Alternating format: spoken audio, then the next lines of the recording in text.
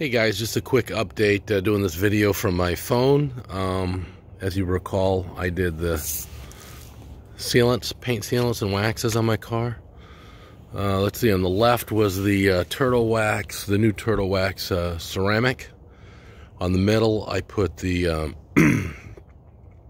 the Rain-X uh, ceramic, and the uh, the right and the whole actually rest of the car I just use the old conventional turtle wax.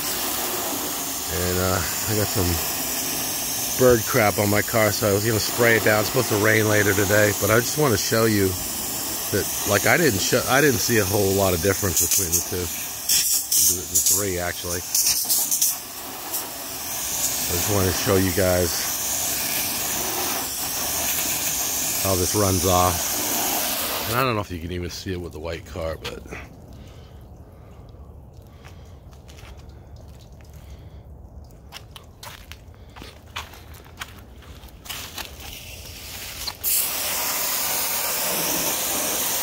So this was the... Um,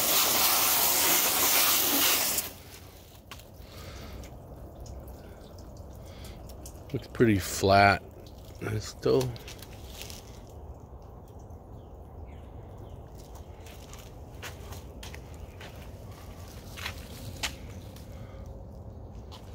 kind of a flat over there, but these uh, these ones on the, this one on the left is still beading.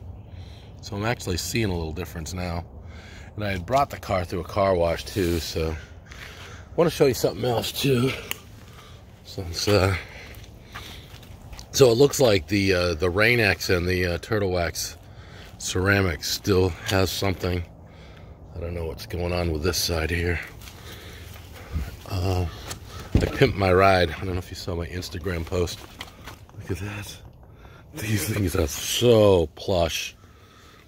These are real too. Um, sheepskin. But they fit really nice in the Challenger. And uh, it's like fitting, sitting on a bed of air. I got nice seats as it is. Um, you know, but uh, it should be pretty comfortable.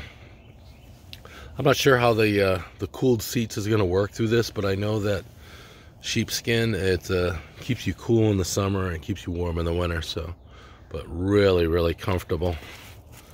Um, so yeah, pimp my ride, man. All right, so that's it. Thanks for watching. All right, later.